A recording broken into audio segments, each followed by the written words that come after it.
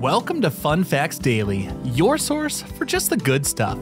Monday through Friday, we're bringing fun facts and news you can use, all carefully curated to uplift and inform. So give yourself a break, relax, and learn something awesome in just a few minutes every day.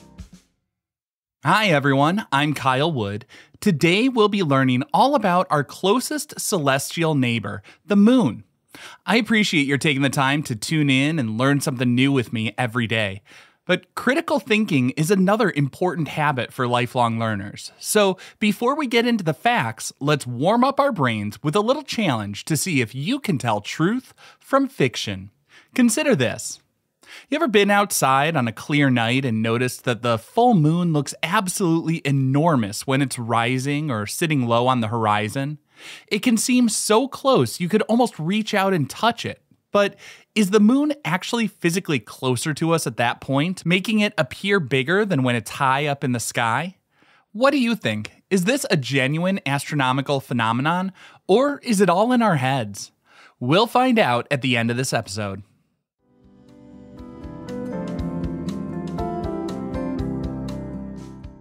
Now for your word of the day. Today's word is perigee.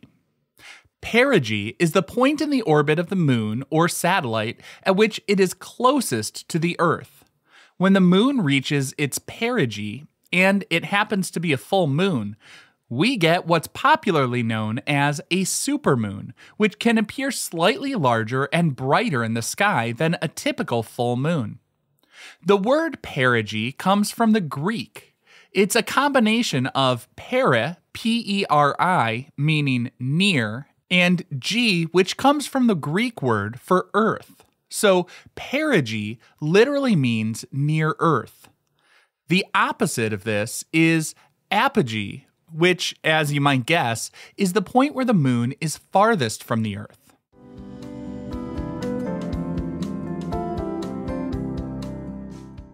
Time for your daily high five, our top five fun facts about the moon. Number one, there's art on the moon.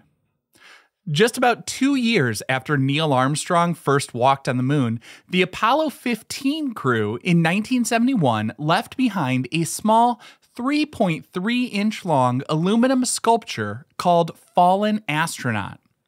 The work was created by the Belgian artist Paul van Hooydonk and it's a sort of stylized modern depiction of an astronaut in a spacesuit of sorts. It's basically a few arcs on an aluminum form. But it's intended to commemorate the astronauts and cosmonauts who had passed away in advancement of space exploration. Van Hooydonk wanted it to be a simple symbol of all people and not a specific depiction of any individual astronaut or cosmonaut. Alongside the sculpture, David Scott, who installed the piece, placed a small plaque with the names of the 14 astronauts and cosmonauts who had passed away up until that point. Interestingly, that's not the only thing an astronaut's left behind on the moon. On the final Apollo mission, Apollo 17, the astronaut Eugene Cernan left a more personal mark. Before climbing the ladder of the lunar module for the last time, he knelt down and traced his daughter Tracy's initials, TDC, into the lunar dust. Because the moon has no wind or rain to erode the surface, those initials are likely still there. A beautiful reminder that a father's love for their child will be there for eternity.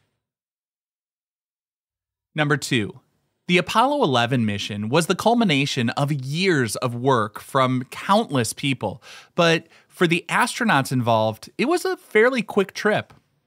For such an immense journey, the Apollo 11 astronauts made incredible time traveling for about 76 hours to reach lunar orbit.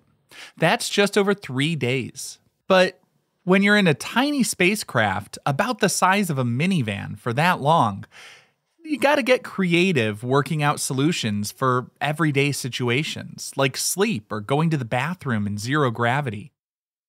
For sleeping, things were pretty basic. The commander and lunar module pilot had hammocks that they would string up, creating a sort of bunk bed, and the astronauts said it was actually quite comfortable once you got used to floating. Going to the bathroom was a bit more complicated. There was no high tech space toilet.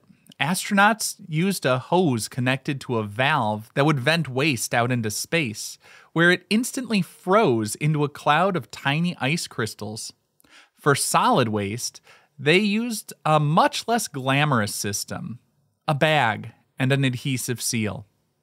It was a challenging and not very popular process, but it was a necessary part of life on the three day journey to walk on the moon.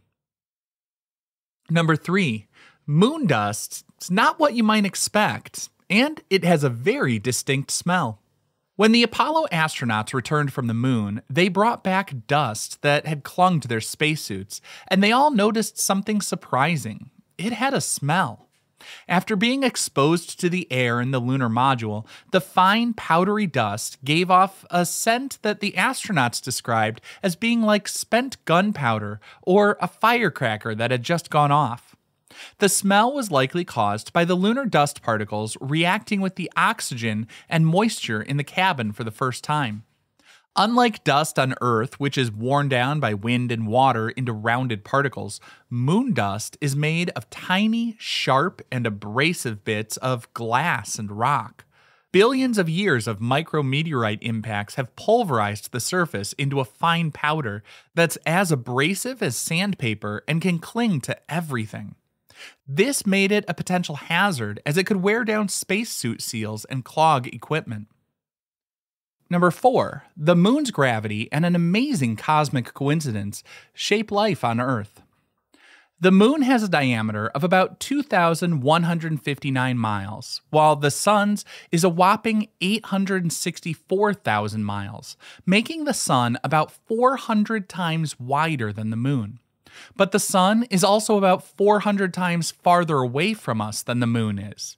Because of this incredible coincidence, the tiny moon and the giant sun appear to be almost the exact same size in our sky. This is what makes the total solar eclipse possible, allowing the moon to perfectly block out the sun's disk and reveal its beautiful corona. Now, the moon is significantly smaller than the Earth, and since gravity is a function of mass, the moon's gravity is about one sixth as strong as the Earth's. That means a person who weighs 180 pounds on Earth would only weigh about 30 pounds on the moon. But even though its pull is weaker, we can definitely feel its effects right here on Earth. The moon's gravity is the main reason we have ocean tides. As the moon orbits, its gravity pulls on the water on the side of the Earth closest to it, causing the water to bulge outwards. At the same time, on the opposite side of the planet, the solid Earth is being pulled toward the moon more strongly than the water, leaving another water bulge behind.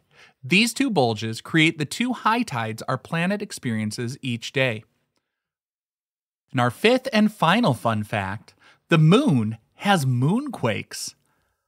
We have earthquakes here on our planet, and as it turns out, the moon has its own version, moonquakes.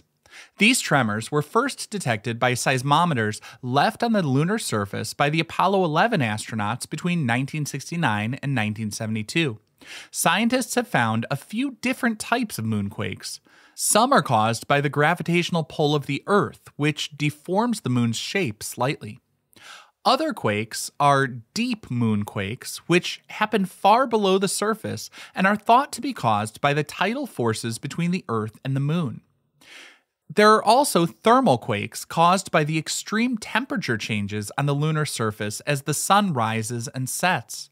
While most of these moonquakes are much weaker than the typical earthquake, they prove that the moon is not a completely dead or inactive celestial body.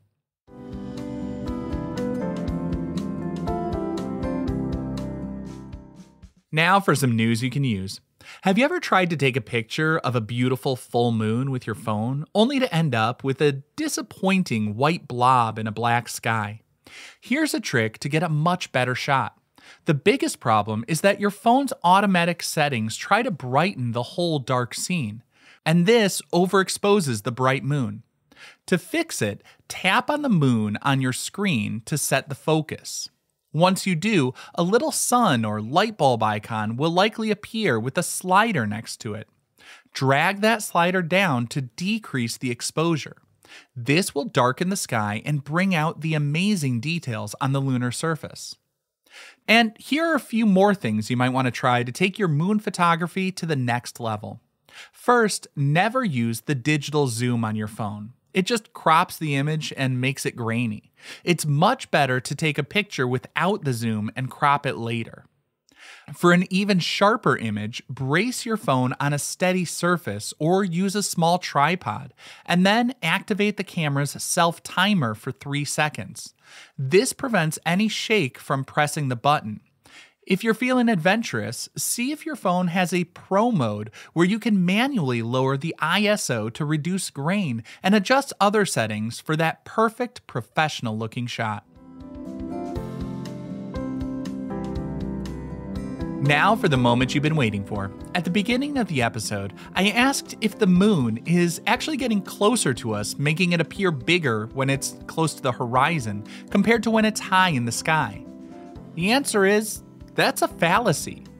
This phenomenon is known as the moon illusion, and it's one of the oldest and most powerful optical illusions known to humanity. So, why does it look so big near the horizon?